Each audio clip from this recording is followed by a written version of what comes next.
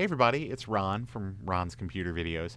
Uh, I was talking with Ryan from Everything is Broken Garage, and he brought up kind of a blast from the past, which was a video that I had made for Marchintosh in 2021 about uh, Eric Helgeson's guide uh, for building the ultimate System 7.1.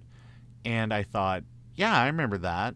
And then I was like, you know, I did that video and then I like never uploaded it anywhere. So it was like, what was the point? It was just talking about it. And I guess you could go out and do it yourself, but it seems like these days sometimes it's a little tougher to just say, "Oh, well just go out and download all these things and somehow move it over to your Mac and and all that." And, I, and BlueSCSI and stuff like that does make things easier, but if you're if you're kind of starting out or you just want to like turnkey and try something out, just it seems like it's a, a, real service to the community to just build that stuff and put it out there. So that's what I did. I took uh, a little bit of time this evening.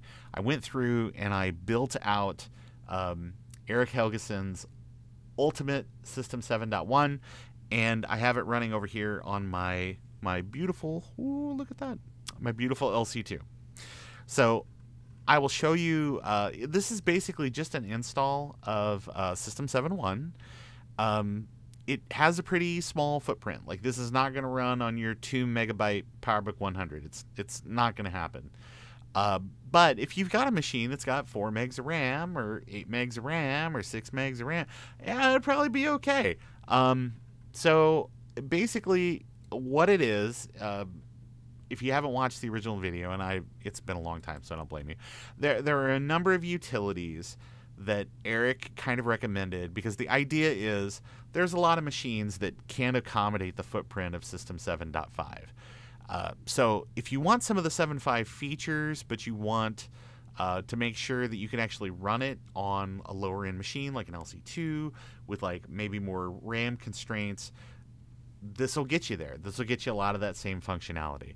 And so I'll have in the description uh, of this video what each of the files are and where you can download them on Macintosh Garden. I'll also have a link to Eric's original blog post, which is a good read. Uh, you should definitely go and check that out.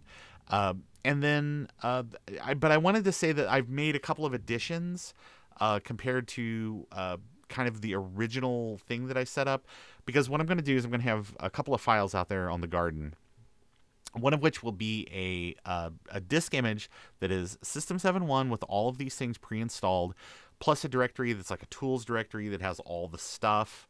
Uh, so you can look at each individual thing, read readmes, look at the info and stuff like that. And there's not a lot of guessing about what's really there. Um, so that is all out there. That will be an image. There will also be an image that is just strictly the tools. Um, and when I say image, I mean like a, like an HDA file for your Blue SCSI. Um, and you can just mount those as disk images on there, change, you know, name them appropriately, whatever. And then there will also, for people that are like, I've already got everything set up, I just need like a, a StuffIt archive with all the tools collected together. Uh, I've made one of those too. So it might be a little redundant uh, because you can just go out on the guard and download all these things, but there's some very specific versions that you might want to download that have better compatibility than others. I've taken the guesswork out. I've done all the hard work. It's all like in these little things, so you can just like try them out. So, uh, the additions that I made over Eric's original guide is I did go ahead and I put the BlueSCSI toolbox out here so that way that um, folks that, that have one of those and want the added functionality of the stuff that the BlueSCSI does, that's all there now in the image. Um, I also put a copy of StuffIt Expander 5.5 so that way that if you um, uh, want to decompress some things, you can do that as well. And I also put a copy of Disk Tools uh, 633. So that way, there are a couple of these things that are like disk images that you might want to mount the image and do a reinstall. I don't know. You're going to play around with it. You'll have fun. But in any case, it's got a lot of stuff, like nice stuff. It's got a clock in the mini bar, and it's got more like System 8 style icons, and like there's a, a appearance manager and stuff. Anyway, you'll play around with it. You'll have fun that is it for this evening, though. That's it. Uh, that's my whole video.